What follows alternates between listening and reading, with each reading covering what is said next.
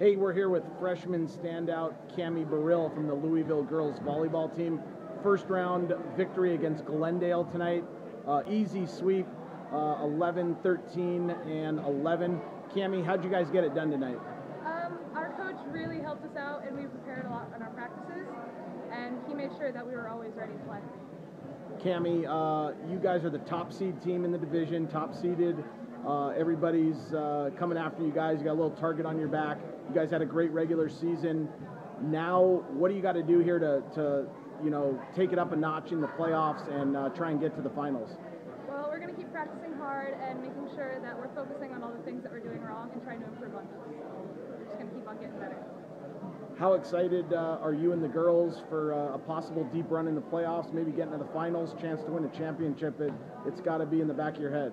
It's really exciting, and I know that our seniors are really excited too because it's their last year, and we just want to help them get further in their season as well.